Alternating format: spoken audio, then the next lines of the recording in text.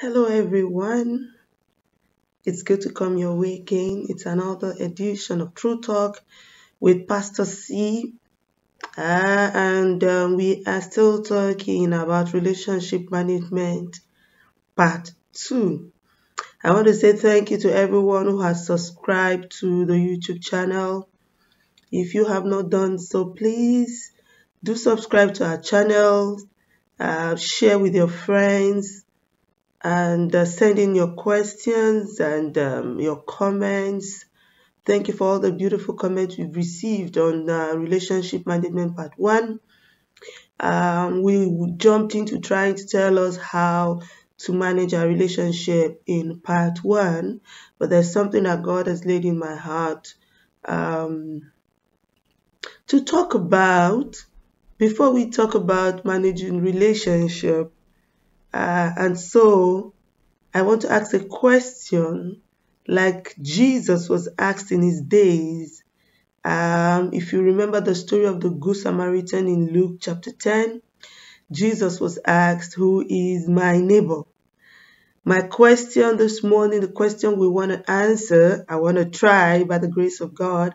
And like I said, you're welcome to send in your questions. You're welcome to send in your comments. Your observation is totally welcomed. Um, phone numbers and emails are at the end of this video. Please reach out to us uh, with your comments and your questions. And like I said earlier on, don't forget to subscribe. So the question we want to deal with this morning is, who is my relative? So we talk about managing relationship. We talk about having a good relationship with others. And uh, the question I want to ask, and the question that has been in my mind is, who is my relative? Who is your relative? Before you begin to talk about managing a relationship, before we begin to talk about, oh, okay, am I in a relationship? Are you in a relationship with me? Who is my relation? Who is my relationship? So I'm going to use relative and relation um, interchangeably. It's practically saying the same thing. All right, so the dictionary definition says that um, relatives are those who are connected by blood or by marriage. Well, there is a popular saying, if you do not know, uh, that your relation, your relatives are not those who are actually connected to you by blood. Only. I'll say that again. My relatives are not those who are connected to me by blood only.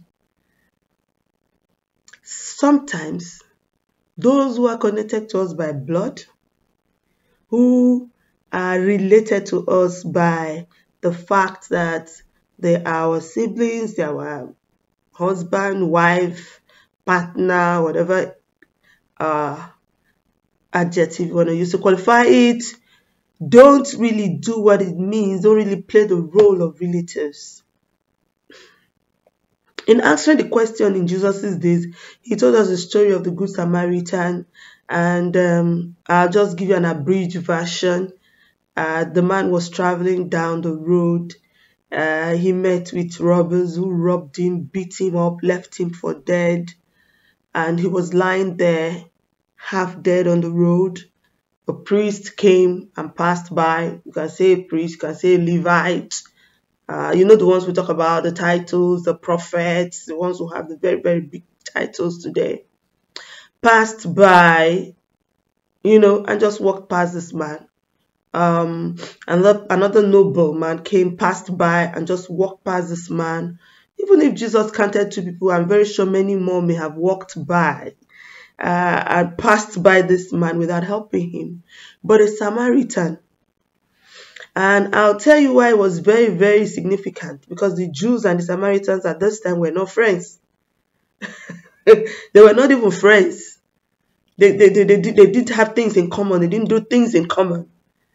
So it was quite significant in the parable of Jesus that a Samaritan was the one who came to the rescue of this man. It was a Samaritan who took him up cleaned his wound, took him to, you know, what you will call a present day hospital, paid the hospital bill, and said, Look, if there's more bills to be paid, I'll come back and I'll take care of it. So I dare say, in answering the question, who is my relative? Your relative is that person who is willing to be there for you. Family is not those who are connected by blood, it is those who want you in their lives and those who you want in your life. I have come to discover uh, in my small walk, uh, uh, yeah, in my small walk in life, that um, strangers sometimes are there for you much more than those you consider friends, much more than those you might consider relative. So, why this talk? I just want to encourage you to be on the lookout so you don't get your heart broken.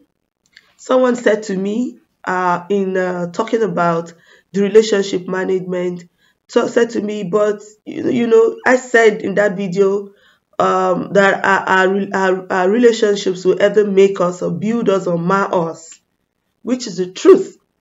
And this person said to me, I've only had relationships that I have had to build. It looks like no one is building me. I am I am now totally drained. I feel like I'm pouring from an empty cup. And I said to the person, maybe you're not choosing your relations rightly. Maybe you're not choosing your relatives rightly. You're not choosing those who should be in your life rightly. The hands are two.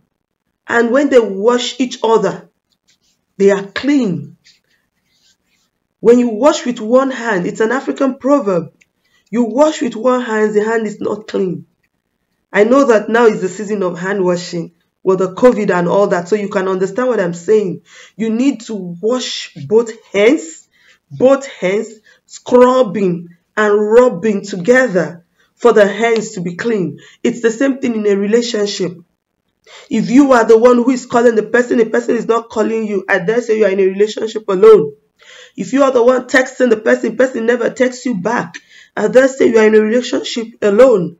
If you are the one who will jump through hoops, you can do anything for this person. But when it is time to show up for you, they are not there. You are in a relationship alone. It doesn't matter what the title of the person is to you.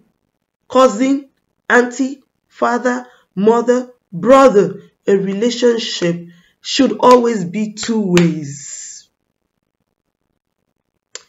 The people who love you might not love you back. Hello, people. Normal with life.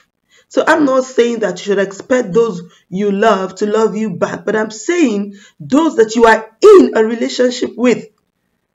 So we have been called to love everyone.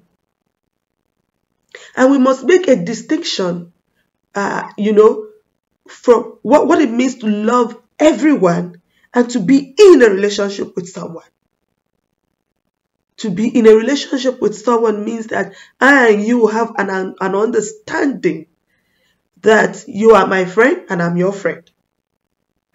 You're my sister, I'm your sister. You're my brother, I'm your brother. You're my husband, I'm your wife. You're my boyfriend, I'm your girlfriend. You're my fiance, I'm your fiancé. These are relationships and so, yes, we can love everyone and love from afar, love from, you know, a, a close proximity, yes, but when we say we are in a relationship, it doesn't have to be one way. It cannot be one way. It cannot be one way love. It cannot be one way one way street. No, it's a two way street. A relationship, yes, it's a two way street. It takes two to tango. Another African proverb says that when two dogs are playing, you know, both have to fall for each other at certain point in the play. It doesn't have to always be one dog always falling. The play is not going to be sweet. I don't know how else to express. It's actually said in, a, in pidgin English. in pidgin English. Eh? So when when you have someone who claims they are in a relationship with you, but you are the only one making the effort to reach out to them. You are the only one making the effort to send messages. You are the only one making the effort to buy gifts or give them money or whatever. You are the only one making the effort to be there for them when they need emotional support, when they need a shoulder to cry on, but they are never there for you. They are never they, they never have your time. They never call you up. They never look for you. They, they, they, never look for anything that concerns you. They are not building you. You keep pouring out. You keep giving out you're going to get burnt very soon. You get burnt out and you'll not have anything to give anymore. So before we continue talking about relationship management, and yes, there's a part three coming up. Before we continue to talk about relationship management, I want you to first define your relations, define your relatives. Look at your cycle. Yes, look at your cycle. Begin to think of the numbers you need to delete. yes, this is true talk. And I'm not going to paint it. And some people will not like this, but let's tell ourselves the truth. You begin to think of some numbers you need to delete, some addresses you need to forget. So that your heart can be whole, your soul can be well. You need to be healed. You need you, you, you need to be you need to be 100% okay to be able to give in a relationship. Oh, you are a sister. That guy has not asked you out. He just keeps coming around you. You know, he keeps coming around you. He's always visiting you. You're always cooking for him. You go to his house. You might even start doing wifely duties, but he's not asked you out. I dare say, sis, you're setting up your heart for a serious heartbreak because very soon he's going to deny the fact that, oh, well, we're just friends. I've seen that happen a lot. And a lot of sisters, oh, they end up crying. Oh, he broke my heart. No, you, you, you, you broke your heart. You smashed your heart because you were in a relationship with yourself. The relationship needs to be defined. There has to be an agreement. Oh, yes, we are in a relationship. If he has not asked you out, if he has not married you, why are you performing wifely duties? In the hopes that he will. The same thing with a brother. You are there. You know that you don't like this person or you okay, you don't have a future with this person. You don't propose or plan a future with this person. But you always go ahead to be there to be around them, blocking others from coming to them because you know this person they are thinking, well, he, he's in a relationship with her. But you're not going anywhere. You're in a relationship with yourself. Tomorrow she marries someone else. Oh, that sister I spent so much on her. I took care of her. Hello, you never made your intentions known. This is what we're saying. For all of your relationships, define where you stand with people. And hello, they might not say it to you verbally, they might show it by action. You are in a relationship with a guy. Okay, yes, he has asked you out. But you are in this relationship for four years. You are in this relationship for three years. You are in this, in fact, I dare say two years is too long. If a guy wants to marry you, he would know in six months that you are meant for him. And that's why some people end up in a relationship with a guy for five years and then the guy breaks up with them but marries someone he just met within five months.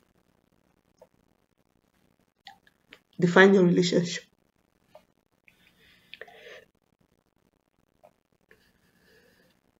It's a season to be merry. So Merry Christmas. Happy New Year. Um, 2020, everyone says has been a, a crazy year. But for me, it is it has been a testimony of God's mercy. And I dare say, even from the story of Jesus and from the story of his birth, that the person who provided an inn a manger for Jesus to be born was a relative of Mary and Joseph at that time. So in this season, be that relative that is there for your relations. Be that relative that is there for your family. Be the father that is there for your family. Be the mother that is there for your family. Be the brother that is there for your sister. Be the sister that is there for your brothers. Stop making it a one way street. Make it a two way street. Be there for them as they are there for you. Relationship is not a one way street, it's a two way street. Define your cycle. As you go into 2021, uproot and replant. Reconnect with those who will build you, the network that God has built. And I, I, I, I say it again, they might even be strangers. They don't have to be related to you by blood or whatever. They might be strangers. People God will bring your way who will build you up, who will be there for you. All you need to do is to be conscious and identify them and stop pouring into those who will never, never be there for you. Stop pouring into those who will go behind your back to break you, those who will try to destroy you. Identify them on time. I've already given you the signs.